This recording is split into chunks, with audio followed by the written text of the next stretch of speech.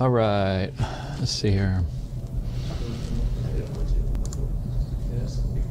Chord.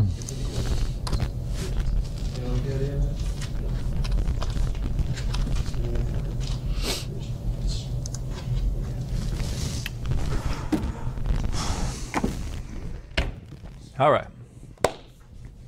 Everybody doing all right? Ready for a weekend? I am so ready for the weekend.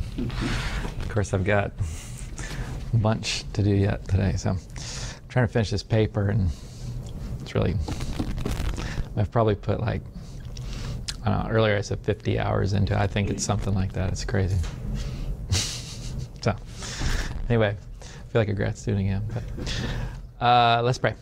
Dear Father, thanks for uh, your love for us, God, and just thanks that we can, again, just uh, rest in you and take a moment just to um, invite your presence here amongst us and just for us to sort of fix our thoughts and our minds on you and before we begin to talk about this stuff. And um, so just help us as we uh, do philosophical work, God. I pray that you would help us to be led to truth and help us to.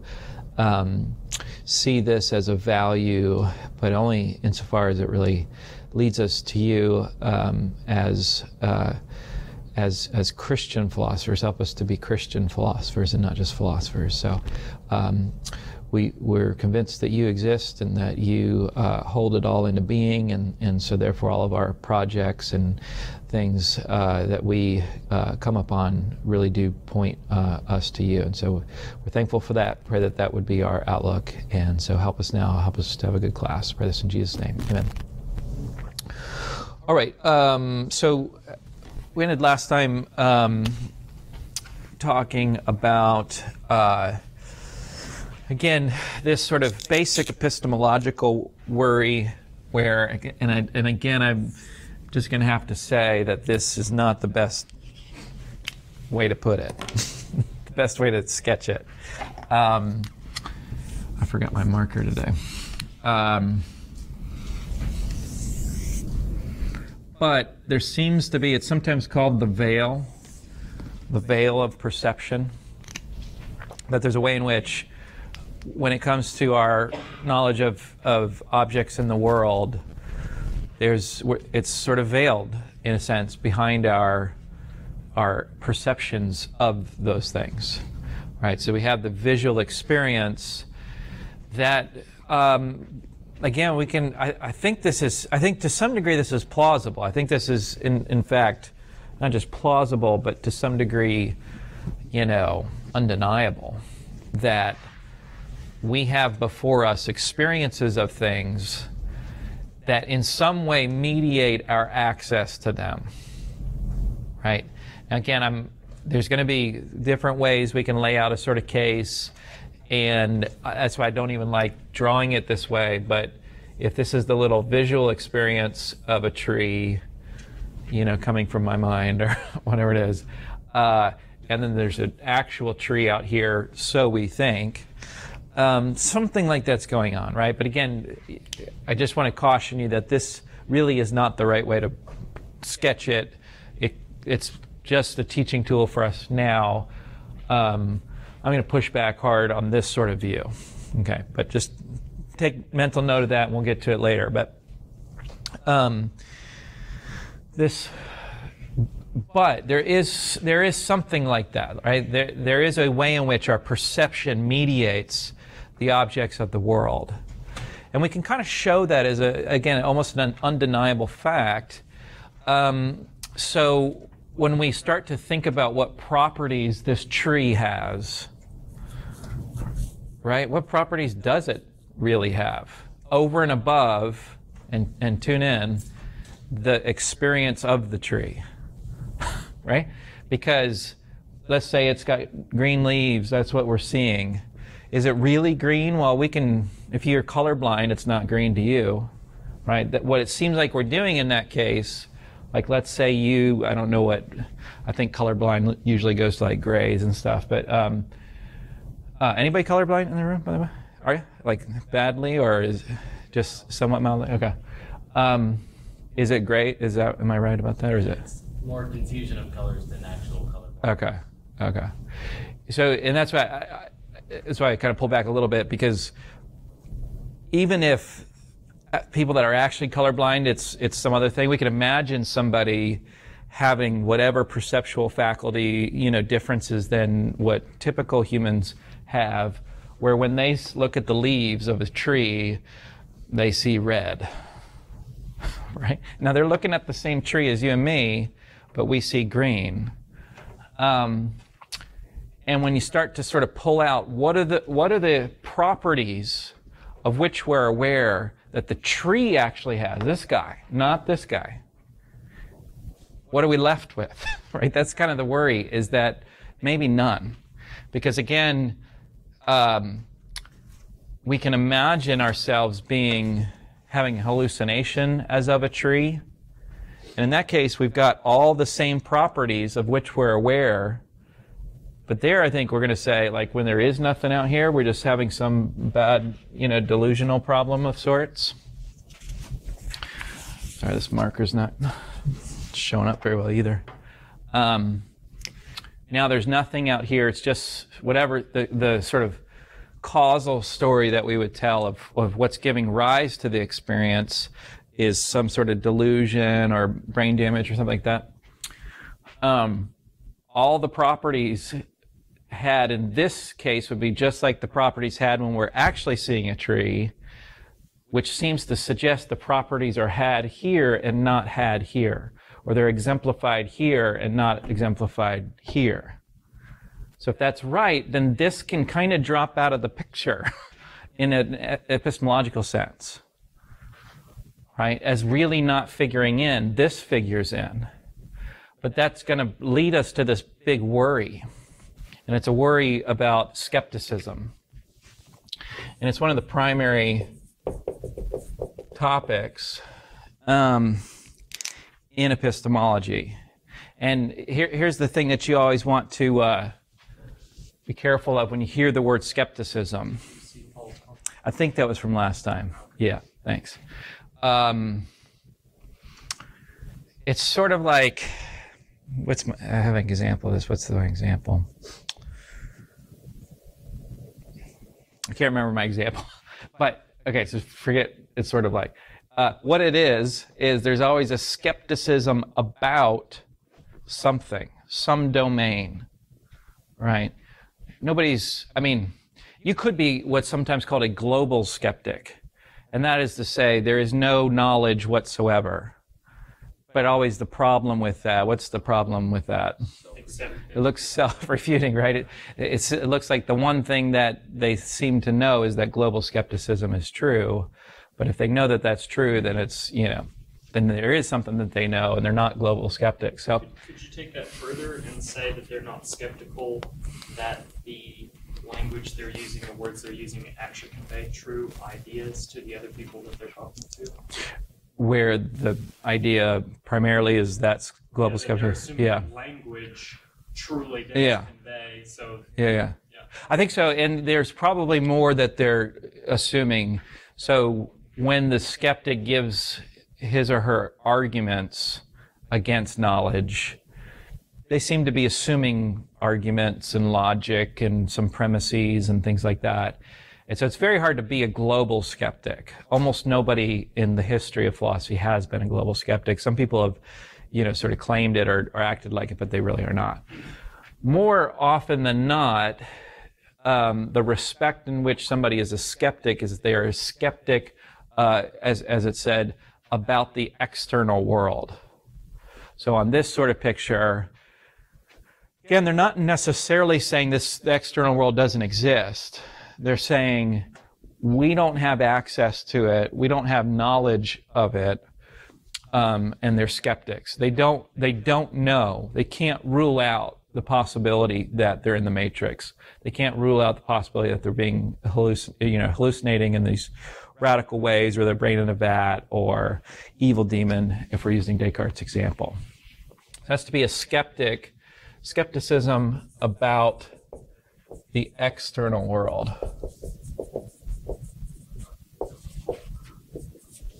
It's being a skeptic about what's out here. Okay.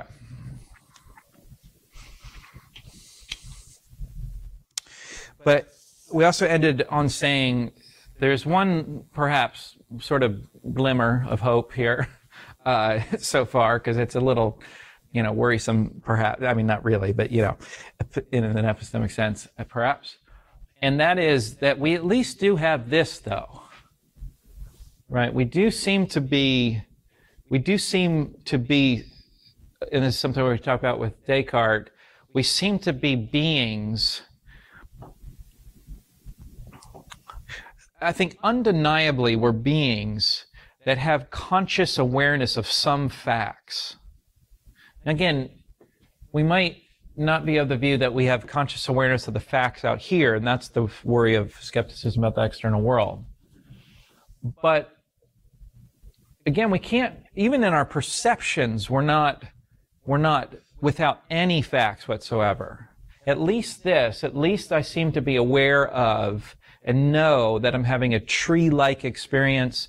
Maybe that's a little too, you know, to call it a tree-like experience might assume some things there.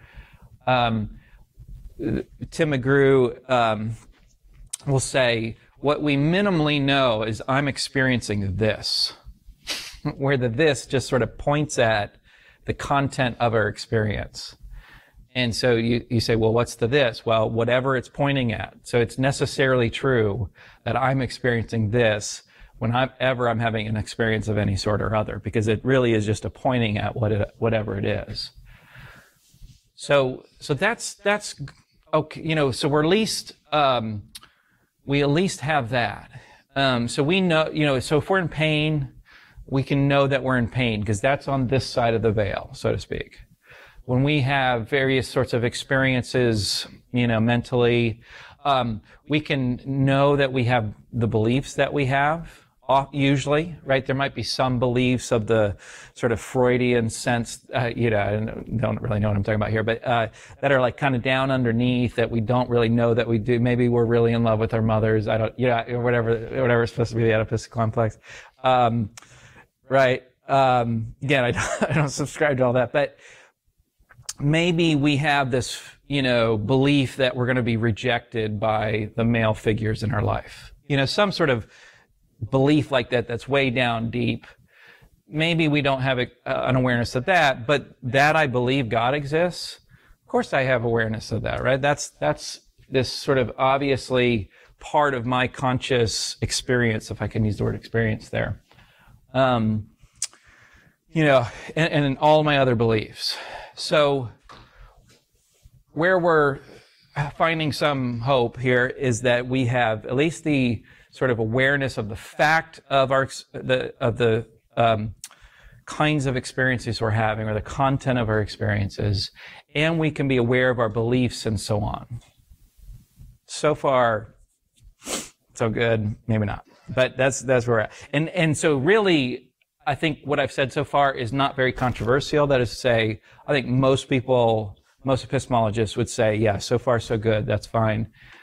But it's what we say next that it gets interesting, that it gets controversial, and you have a bunch of different views that weigh in uh, for what it is to have knowledge of, say, this desk or that tree, or that you're another, uh, that you're a mind, right? Um, and that you're not just a figment of my imagination or my experience right? These are the things that we, again, if you think of Bonjour, he started the chapter, or started the book actually, is identifying all these things that we take ourselves to know. Certainly those would be amongst uh, those claims. And so that's where, that's where we want to get to. There's a bunch of different ways we're going to, you know, people will see as getting there. All right, any questions about any of that? Everybody feeling all right there? Christian? No, as far as I'm aware, he's not. And I, I had one of my professors was was his, one of, one of his PhD students, and so not that he was a Christian either, but yeah, I'm, I'm pretty sure not. I was trying to think of something that's true of the actual tree that's not true of the experience. Yeah. It has spatial extension, but your experience of it doesn't. But I guess you wouldn't have any way, way of knowing or getting through Yeah. Okay. Well, you you've got a kind of spatial extension in your experience. In other words, we can we can and we can be tricked into it as you know all those 3D pictures or you know to draw the box or whatever. You know, we can kind of give dimension to things. That's not very good, is it? But um, It's easy for hard. However, like we do have depth. We we can, you know, um, even though we can sort of be tricked into, you know, what looks like depth. So it it's right to say this prob this doesn't have extension in the physical sense of extension. Um, but do we have access to that extension? I think is the point you're you're So even if you had multiple individual viewings, then they could all be sort of given their experiences by some evil demon. that or even they could be figments of your evil demon experience so that evil demon is like just like you all of you guys. You may not be here. I, how can i know right? How do i know that i'm not dreaming or being deceived or in the matrix or whatever? Um, This this whole philosophy or section of it that we're talking about, what if the tree is not really there? How do we know what properties the tree really has? Is there? This is all from a Cartesian standpoint, and you're about to, in another section of the class, give us another way of looking at it. Well, this is sort of a Cartesian ex- approach. Um, I think Bonjour says something like that. That this this is kind of falling in that tradition, but I would say is it really Cartesian as much as uh, and I guess where I'm I'm trying to start is what seems very very plausible. Yeah. It, So I'm not gonna- The rest of my question isn't Uh-huh. is this Cartesian so Okay. much as is. I mean, obviously, you believe the Bible. Right. You don't believe that the Bible's a figment of your imagination. You're presenting kind of True. some basics to us, but this isn't the way things are. Obviously. Well, I'm just saying so far. So like we've kind of we've gotten. I'm so what I, I'm what I'm not saying is we should be skeptics about the external world. Certainly, I'm just saying that's the worry. If all we get epistemologically are the contents of our own mind, you know, and and so on. Um, so yeah, no, I'm I'm headed to saying yes, we do have knowledge of trees. I do have knowledge of your the your existing mind um, as as distinct from my own. Um, yeah, because if if I mean it's this is true, it's certainly out of step with Christianity. Um, there are there are versions of skepticism. Let's just let's just go with that. This is out of step with Christianity.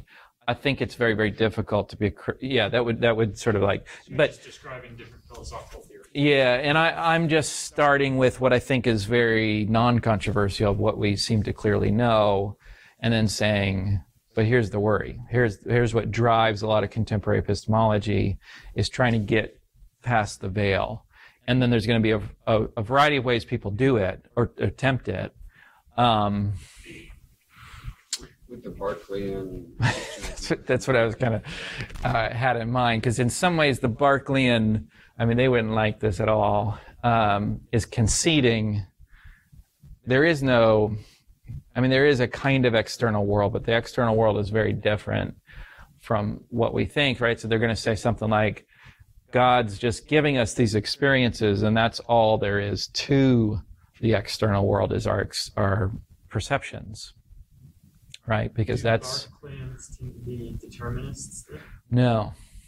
It's interesting because if I'm not really doing anything, but God's just giving me these experiences, He could be giving me the experience of sinning or being righteous or whatever, or going to hell, when in actuality you're just a brain that. Yeah, except for that you're not even a brain for the Berkeleyan, right? Because the brain is physical. Um, but no, they would say so, and I maybe didn't say this clearly enough a second ago. uh, they would say to be is to be perceived or to be a perceiver. So they've got they've got the mind and ideas. So because you And that's it. me, it. No, so you are in virtue of the fact that you're mind. But to perceive this podium in a way makes it the case that it is. The perceiving of it. So we walk out of here, no more podium. So the passive voice is referring to inanimate objects. Yeah, I think so. Um, what I was going to say is that they Berkeley himself, as I as I recall, is very careful to say that the mind makes choices and has freedom, sins, um, but God is doesn't need physical objects. He can just sort of zap us with the experiences and so on. So you're like a soul. You are a soul only, no body. All you have is experiences of a body. Um, That's the ascetic, well, it's it's uh, a I want to say a very different picture. I mean, that seems obvious enough, right? That um, than what we assume to be the case. The Berkeleyan works hard to say it's not that different because because in in part this very reason is that it looks like our access are just through what Berkeley would call the ideas, through perceptions and our beliefs and so on. That if everything, as far as my relation to this podium is experiential, I can touch it, see it, if I wanted to taste it. I don't want to, but um, right then in what sense is there a podium, Berkeley would say, beyond just the ideas of the podium? So it's it's an interesting. I, I love Berkeley. I love reading it because it's so very interesting. I think it's nuts, but uh, the tree in the forest that falls does not make a sound because there is Yeah, there's no there is tree. forest Right. there. yeah, if it's not being perceived. Now, the only caveat, and then we're, we're going to move on because this isn't. We're going to talk about Descartes. Um, we will get Berkeley will come back for us. Um, the only caveat is is some Berkeleyans would say, ah, but you're forgetting a perceiver, and that would be God. So God, eh, but the worry about this is that, of course, you know, one is God a really a perceiver. I'm not sure we want to say God has perception. He he certainly doesn't have like sense faculties in the way that we have sense faculties, at least on my view. Maybe Berkeley's view, he can make sense of it. Um, right. We we use our eyes and our ears and things, and, and God doesn't have those. Um, and I'm a little concerned about God having perceptions because I think I think that's a bad. It's, I, I think of this as a bad theological view where we have God just sort of like up in heaven, sort of looking down, watching, you know, what's going on. It just seems to be so very anthropomorphic and, uh, in a way degrading of God. And so God's knowledge, now this is an interesting topic because it's a whole other thing of epistemology is to talk about what God's knowledge is. Um, I think God's knowledge is conceptual and not percept- perceptual. God knows in virtue of his omniscience all truths. He doesn't have to sort of like, you know, pop in popcorn or something, watch the, how everything unfolds. Uh, yeah, it's a joke, sorry. Um, right? He just knows in virtue of his omniscience. So it's more like how we know a priori truths like two plus three equals five and so on. But he would know what you're having for dinner tonight conceptually in an a priori sort of way. like view of the omniscience of God. I think he does say that. Yeah. Yeah. Yeah. I probably stole it from him. I think a lot of people do say that. I think that's the way we should go. And I don't even know if Berkeleyans would say God knows perceptually. Um, but the way they describe it sure sounds like God does. And that seems to be a problem. Okay. Descartes. Um, so getting into Descartes a bit here. Um, okay. How- what are what what are what are these things? What are we reading here? What are the meditations? Right. I think the right way to think of the meditation. So it's so this is not a journal that Descartes' using to sort of record his experiences. Um, right. Um, he is recommending that we, in a way, go through this meditative process.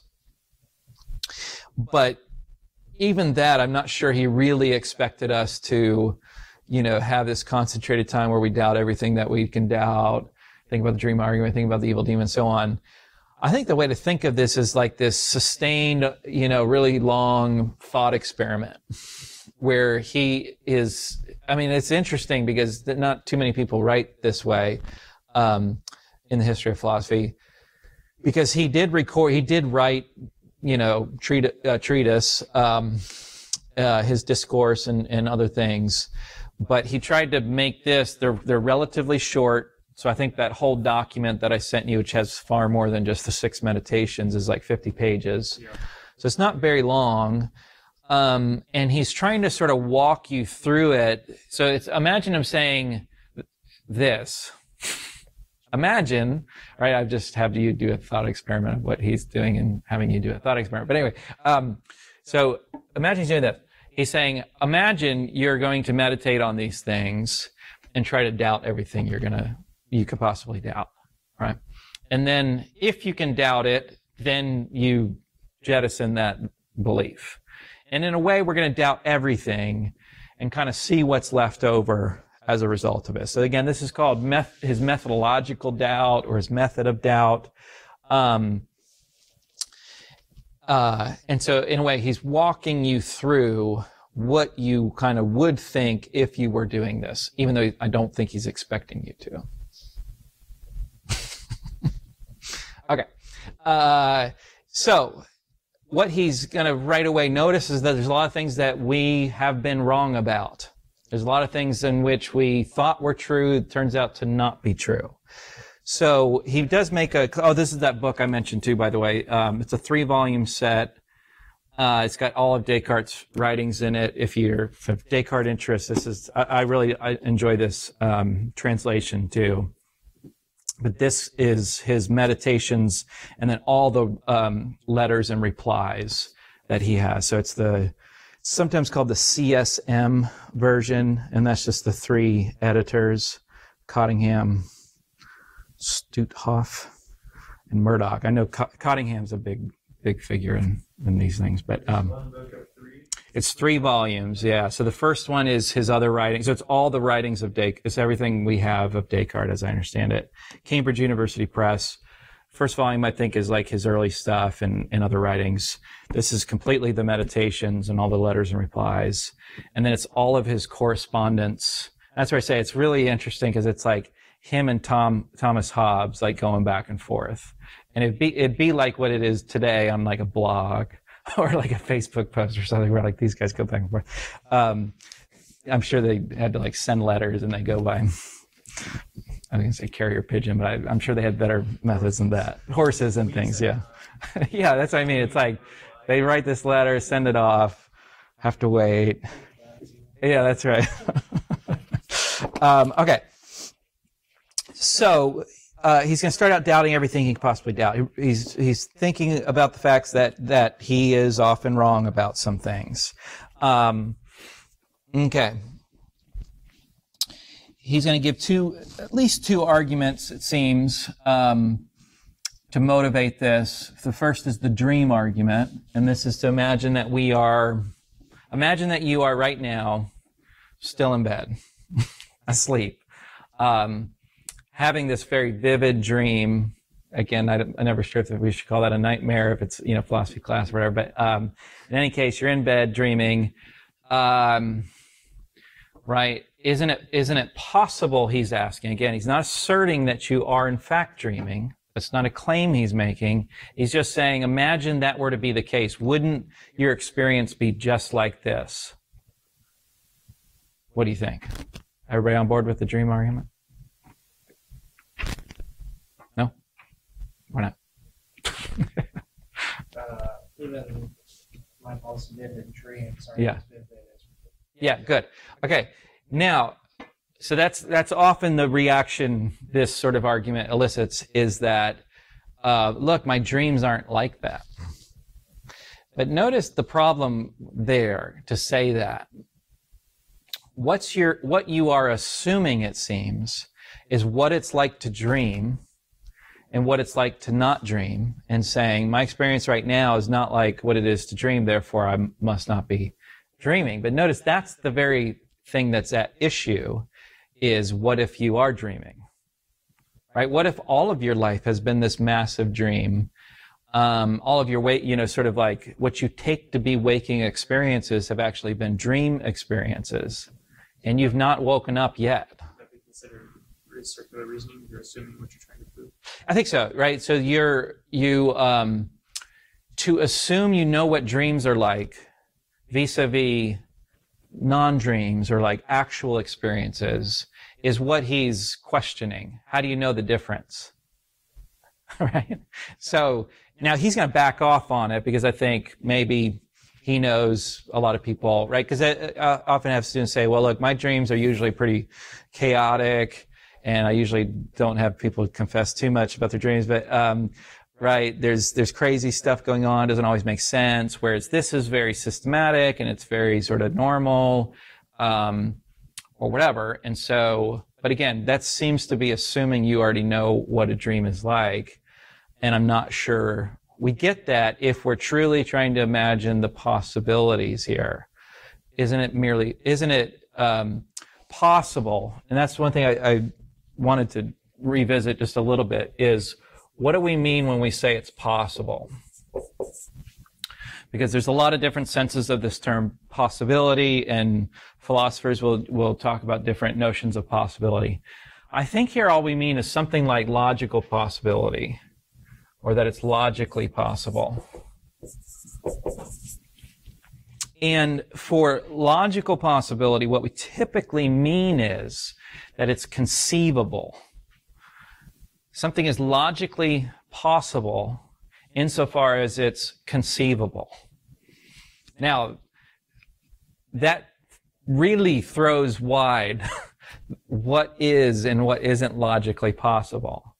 Because if it's merely conceivable, again, an important question to ask is, well, what's conceivable, right? Because this is, I'm throwing terms out there, so I'm not assuming you, you have a better grasp on conceivable than logically possible. But it's kind of like what's imaginable. Can you imagine some set of, of facts as being the case? If so, it's logically possible in this sense. Because presumably what we're doing there is we're conceiving of it being that way. So can I conceive of you guys sitting in different chairs, maybe one chair to the left today? Yeah, no problem. Like that's easy, right? Easy to do. I can conceive of you uh, wearing different shirts today. Um, I can conceive of us being in a different room for this class. I can conceive of this building not having been built. All of these things are easy to conceive of. I can imagine them being the case. Again, therefore, it seems these are all logically possible states of affairs. Okay, let's get a little more uh, crazy. Let's get a little crazy here. Um, I can also imagine you leaving class today, really kind of wanting to avoid traffic, so you fly like Superman home from class. Now, what you want to notice is that is conceivable. I can imagine that happening, but it's not physically possible, we might say. Um, yeah, physically possible. So on that one, it's logically possible, but not physically possible. Right? That you fly like Superman home today. That's, that's not part, you know, physics would not allow that in, in a certain sense. Um, is it logically possible that the earth explodes? Yes. Easy to imagine. It, I say this sometimes, some of you maybe heard me say this. If they can make a movie about it, chances are it's logically possible, right? Because you're kind of seeing it on screen. Now, um, there's sometimes in which the movie is fudging on what's really coherent and things like that. Probably the Matrix is incoherent in the sense that Neo is communicating with other people in the Matrix, right? Because if that's going on in his head, it's not clear how you have communication like in the matrix. And so even though we're watching that in the movie, you kind of start thinking about it. It's like, mm, I don't know.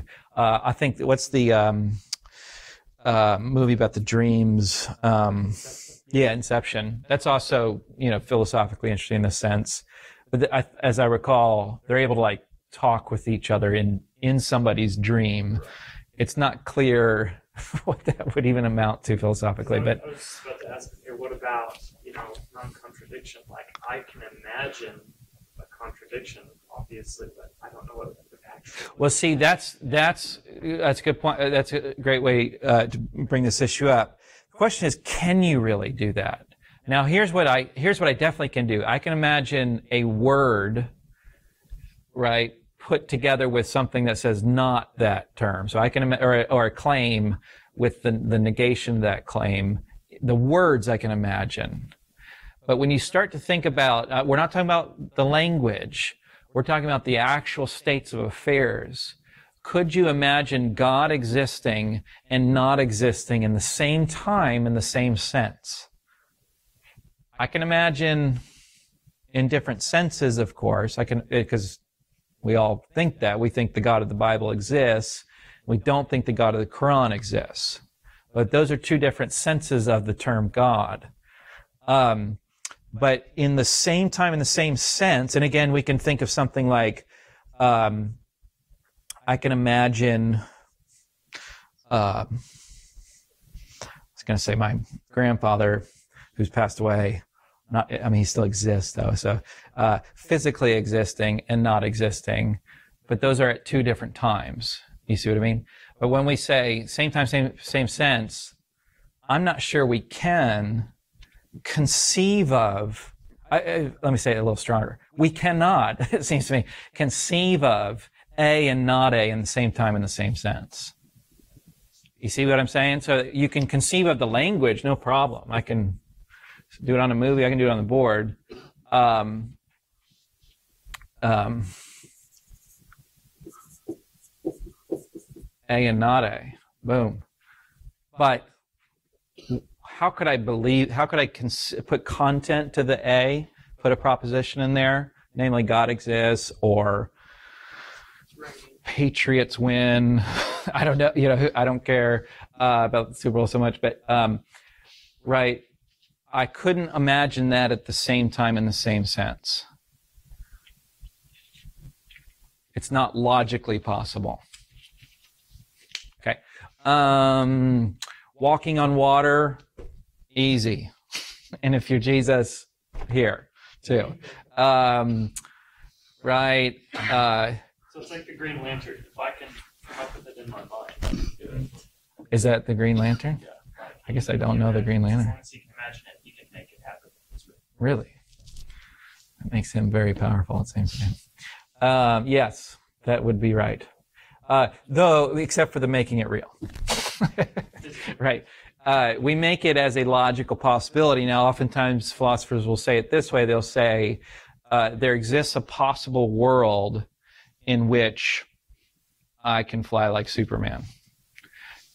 And people say, Oh, really? Well, yeah, I just mean a possible world. I don't mean the actual world. The actual world's very different from that.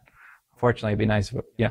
Uh, but that's, we use possible world talk to just identify really logically possible states of affairs. So going with the Superman analogy, like if I'm dreaming in like my sleep dream, and I dream that I can fly, yet I'm dreaming that I'm just dreaming. Yeah. You know what I mean? Like, Uh, I'm corporately dreaming So in the dream, you're dreaming that you can fly? yeah, like, or in the dream you can fly. Like my dreams, my sleep dream, I can fly. But my, you know, this dream that well, this is just all just kind of whatever. Yeah. And not really this like this isn't really here. Uh huh. That dream, I can't. It's physically not possible. Um, okay, so the question is if I'm dreaming, but it's a dream within a dream, right? Essentially. Yeah. Like if I'm asleep dreaming, Yeah. I can fly in my sleep dream, but my this is all just a dream, I can't physically. Okay, so typically when we're talking about physical possibility, we mean in the actual world, whatever that may be. That's a good question. So, in a poss, would, would we say? I know this isn't exactly how you put it, but this is, I think, part of what you're saying is in a possible world, are there actual physical possibilities kind of indexed to that world? So now you're you're imagining it where it's a dream world within a dream. Because I can actually sleep dream, Yeah. which is within the dream world. Why do we need the dream world though? Because he's saying, what if like, what if all this this is a just- dream? Yeah. this- Reality is actually a dream in which I cannot fly. But within this dream, I go to sleep at night and I dream that I can fly. Okay. Okay. I see. Yeah. So typically what we mean by physical possibility is as it relates to the actual world. Right? So we're sort of putting epistemology aside for a minute, assuming we know what the actual world is and is like. So we're, we're maybe running it together too many um, worries. right? So when somebody does metaphysics, in a lot of ways, they need to assume answers to these skeptical worries and things like that. So we're kind of doing metaphysics here. We're saying, tell me about the nature of possibility. And I want to say there's at least two different ways. There's more than that. Metaphysical possibility something people talk a lot about. Um, that we won't get bogged down in that right now. I think this is the easiest distinction of possibilities. One is merely conceivable.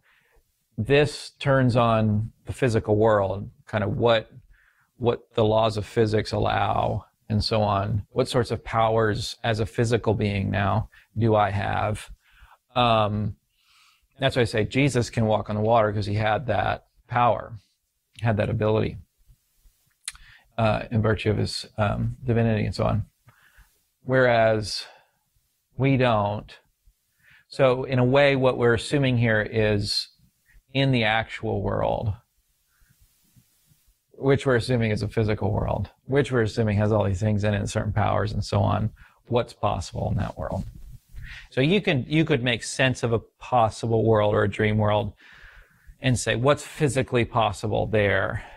But now you've got something like what's what's logically um, what's I'm say logically, physically possible.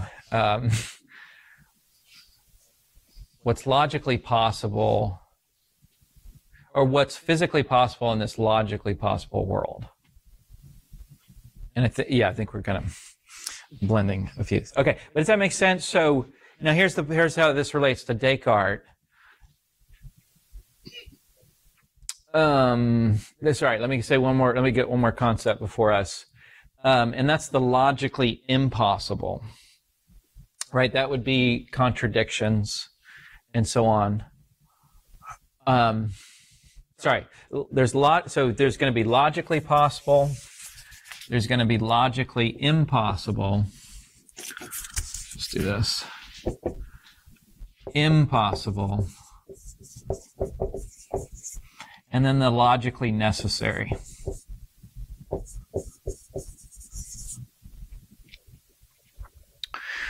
Um,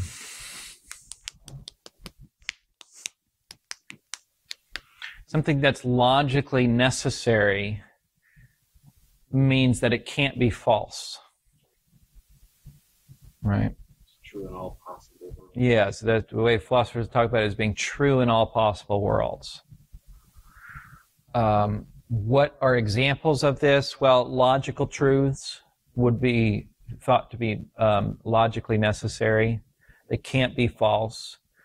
Um, we could state the law of non-contradiction this way. It's not the case that A and not A in the same time, same sense. that's logically necessary. It's a logically necessary truth. There's no possible world in which contradictions exist. This is the negation of that, right? But that, that statement is logically necessary, or, or what we sometimes say is necessarily true. Um, this seems to be logically necessary that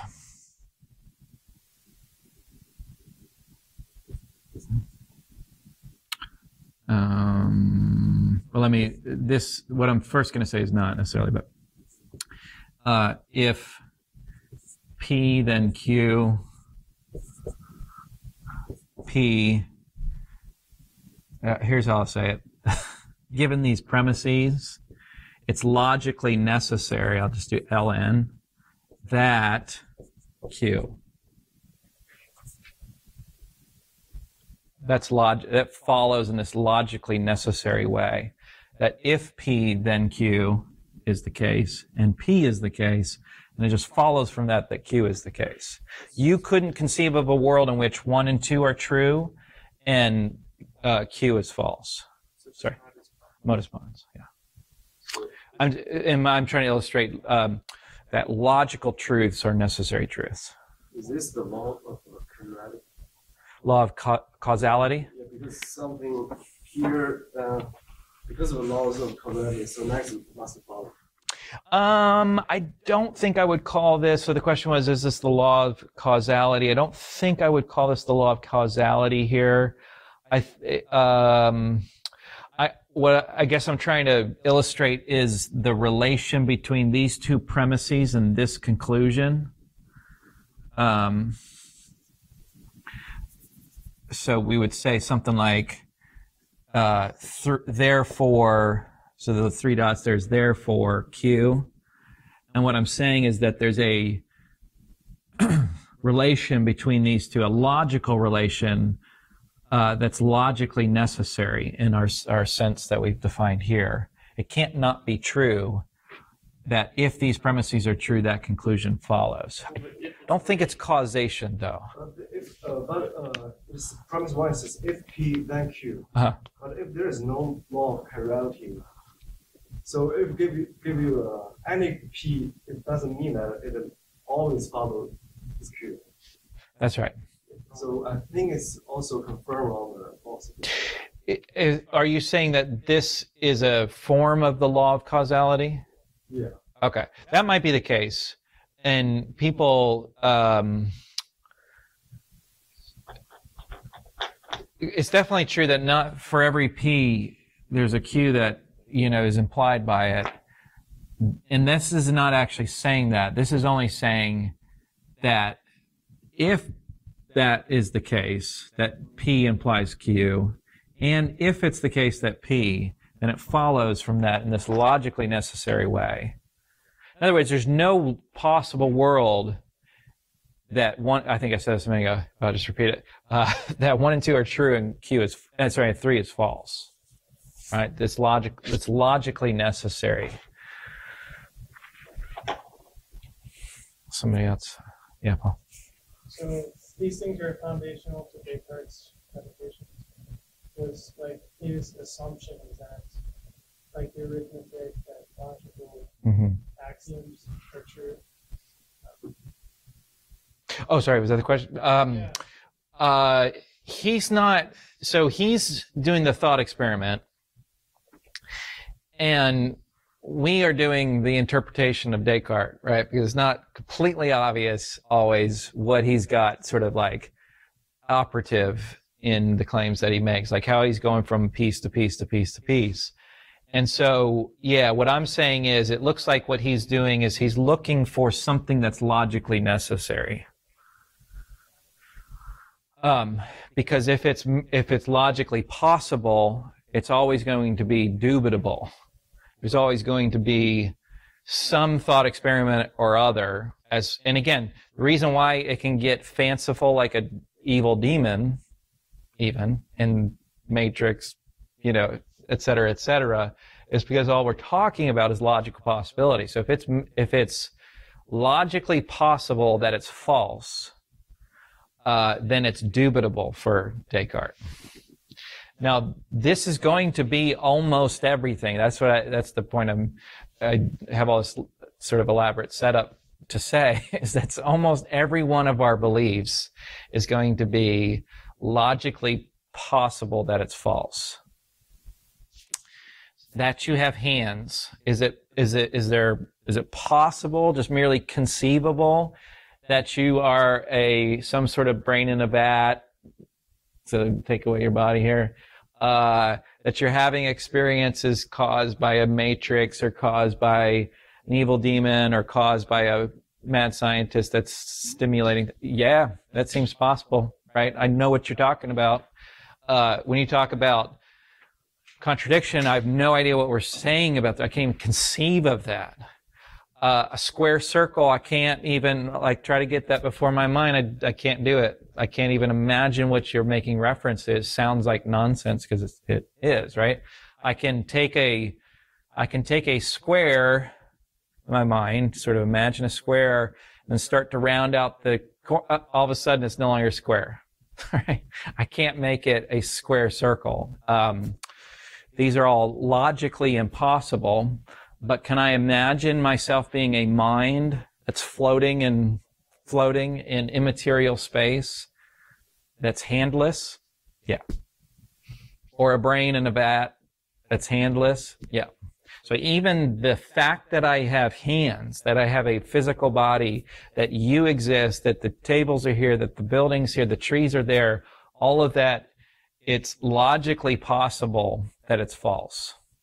Therefore, it's dubitable. Therefore, it's jettisoned for Descartes in his project. Okay.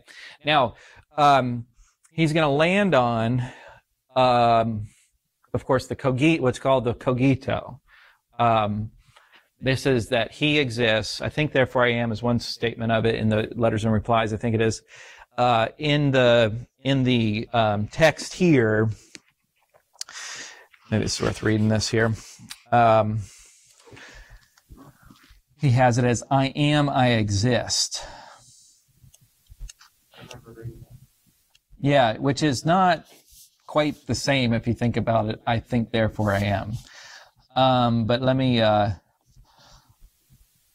let me read this here. So.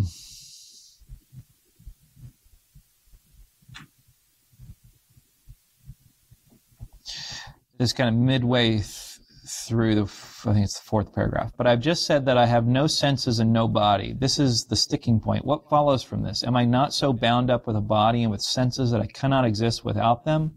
But I've convinced myself that there's absolutely nothing in the world, no sky, no earth, no minds, no bodies. Does it now follow that I too do not exist? And he says sort of decidedly no. If I'm convinced, if I've convinced myself of something, then I certainly exist. Then I certainly existed. But there is a deceiver of supreme power and cunning who is deliberately and constantly deceiving me. In that case, I too undoubtedly exist. If he is deceiving me, and let him deceive me as much as he can, he will never bring it about that I am nothing so long as I think that I am something. So after considering everything very thoroughly, I must finally conclude that this, that this proposition, I am, I exist, is necessarily true whenever it is put forward by me or, or conceived in my mind. Okay. So, um, he lands on that fact and sort of at this point in the meditation, that fact alone. Now, what this does seem to bring up,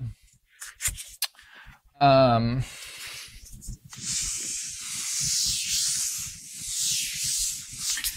because in in some of this we read, but the rest of the meditations he he kind of he goes certainly much further. Is he what he's landed on is a kind of foundational truth from which he's going to build back now the rest of the structure, so to speak, of his knowledge.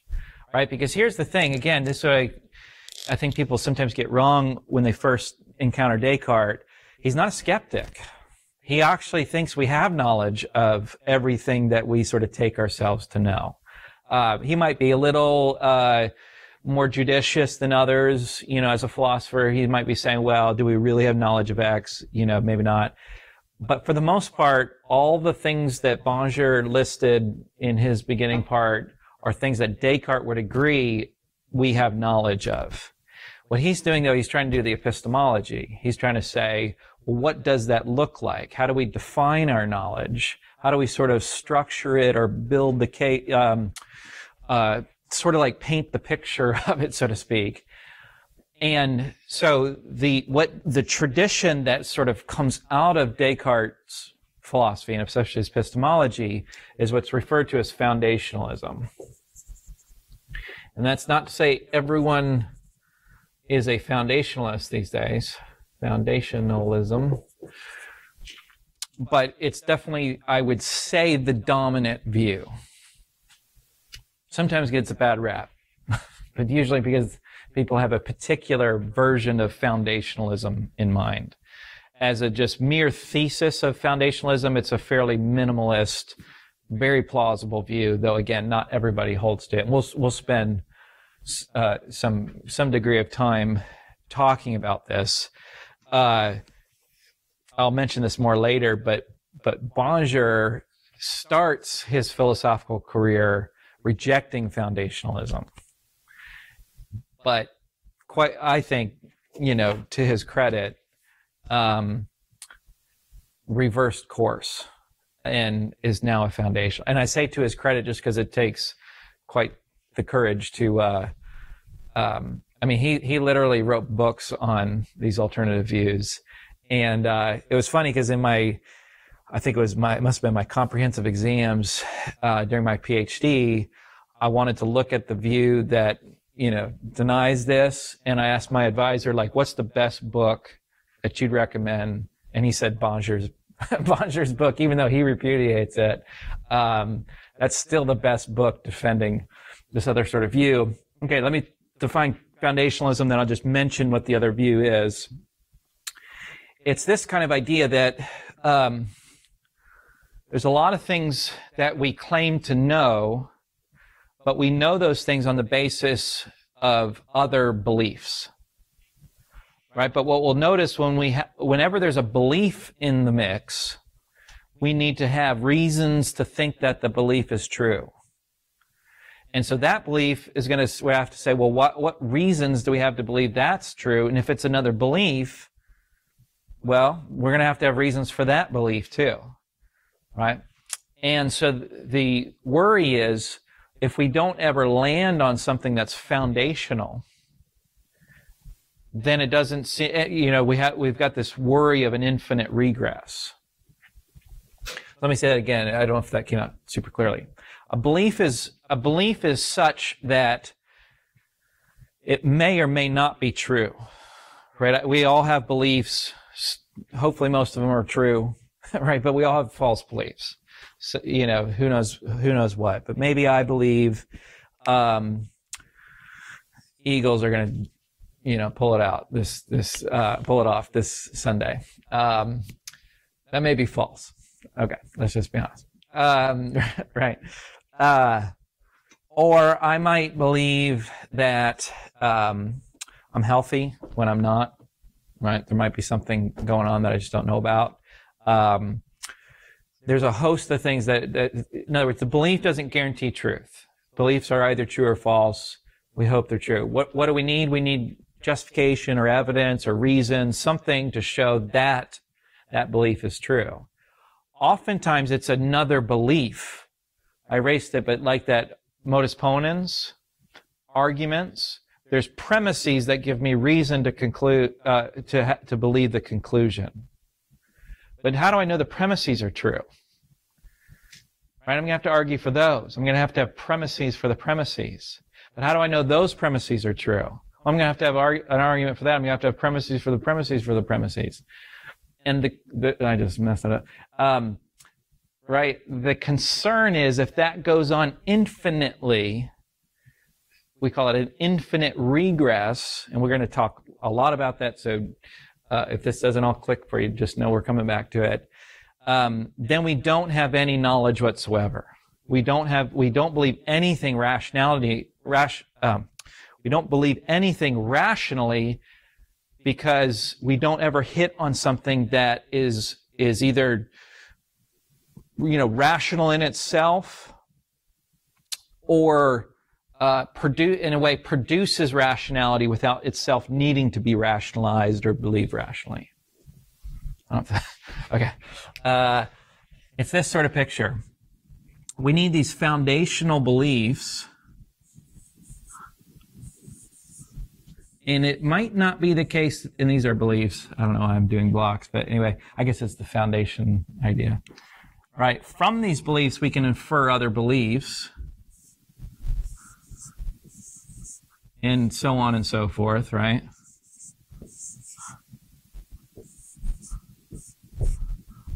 and build the sort of edifice of knowledge or rational justification, rationally justified beliefs. But if there's not a bottom to this, right, then it just regresses infinitely. So there's got to be some sort of beliefs that end this process um, of inference, what, what we might call the process of inference.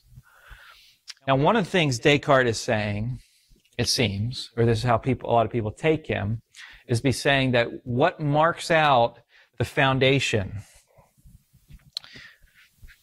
right? What about what about I am I exist was special about that belief? You you guys tell me. Certain. Yeah, it was certainty, right? He held that with certainty. Um, it couldn't, it wasn't possible to doubt its truth right? It was held certain with certainty. Um, some people would say if you have certainty at this level, then that's the foundation, or a proper foundation from which you can infer everything else that you believe. Okay. What's what would you say is the concern about that, or what what might bother you a little bit about requiring that? if the thing that someone has certain amount of certainty is circular. Could be, right? Because um, though we might say if it's circular, it can't be certain, perhaps. I mean, maybe those go hand in hand. So, the, so what Paul said was that um, the, the concern would be that if something is, it could be certain and circular still. Um, now we don't, remember, we don't mean by certainty just like super, really confident. right? We don't mean that's not our notion of certainty. What we mean is there's a there's logical necessity to that belief. It never worried me that there's just not enough. Yeah, right. There's just not a broad enough foundation to sort of build back everything that we know in doing the epistemology. I mean, especially if all we've got is I am, I exist. What can you infer from that? Well, he does. He makes an inference. Anybody remember what what that inference is? Is that the next step where he goes, if I'm perceiving it, then it's true that I'm perceiving it? Not quite. He does. He will get there. There's something that he sort of immediately.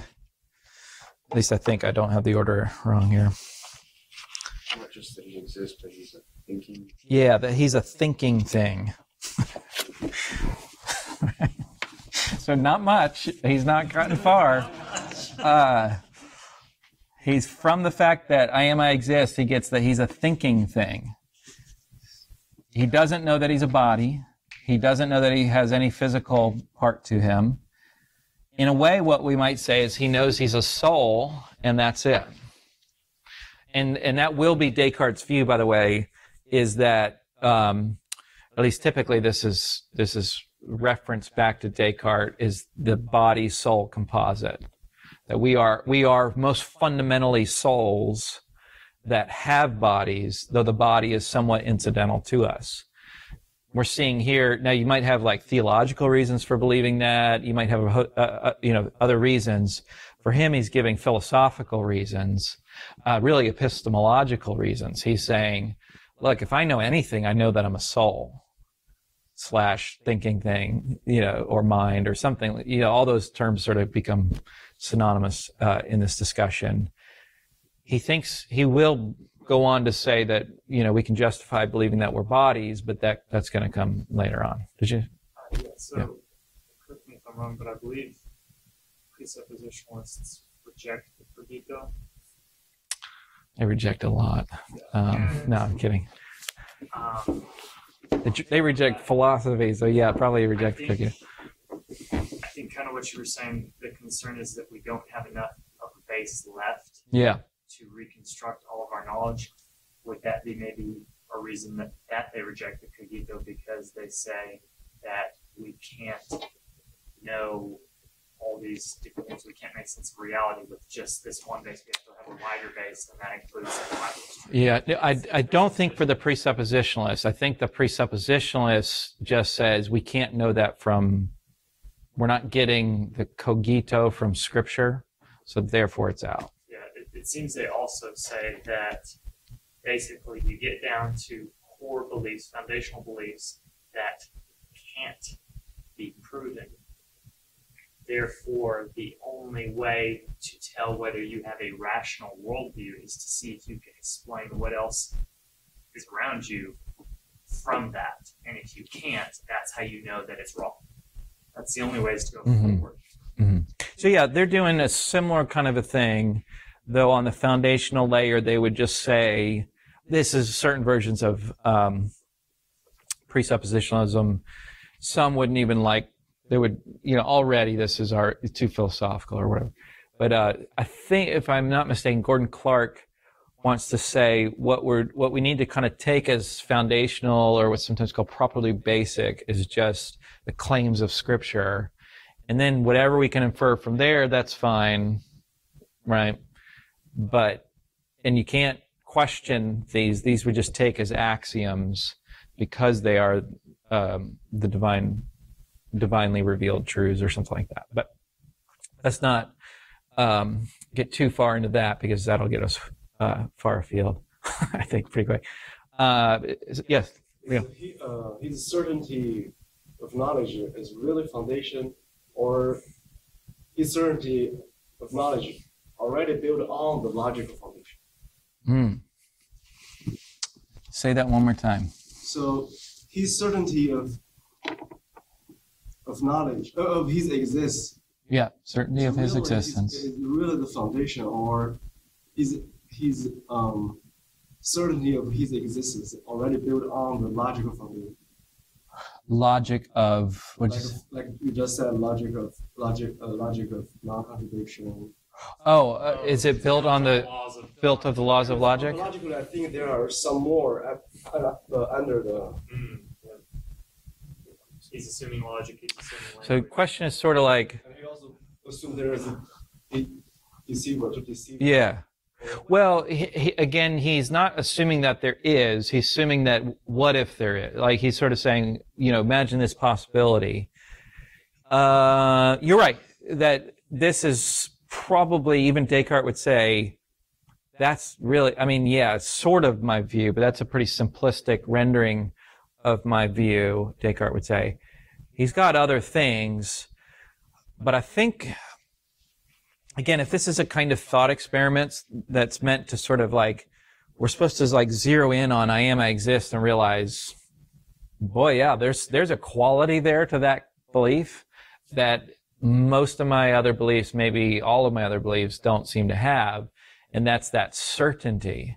So he sort of, you know, cleared away the confusions and the doubts. And we've done is he wants us to zero in on that for at least a minute in the meditations but you're right. I think that he's make he's he also seems to have a grasp of like logical truths. Now, whether or not that's down below or that those are also these certain beliefs he has, coupled with this belief, perhaps he can infer other things. I'm not sure. You know, maybe the sort of illustration will break down a little bit, but nonetheless, those would also be things that he he knows with certainty, I think, these logical truths. And he will, he will expand the base. Somebody mentioned it that he'll expand the base to include um, the contents um, of his mental states, states, even though he doesn't use that terminology. Um, let's see if I can grab that real quick.